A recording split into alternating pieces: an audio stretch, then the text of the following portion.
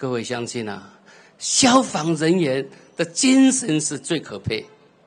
大家怎样哦？会修的时阵，大家走去倒，大家对火场照出来，对不对？是不是大家逃避？只有消防人员明明知道那很危险，就往里面冲。你说消防人员的精神多可佩？但是政府有重视他吗？有吗？各位乡亲，民进党执政答应人家的事情跟放屁一样，从来没有一件实事。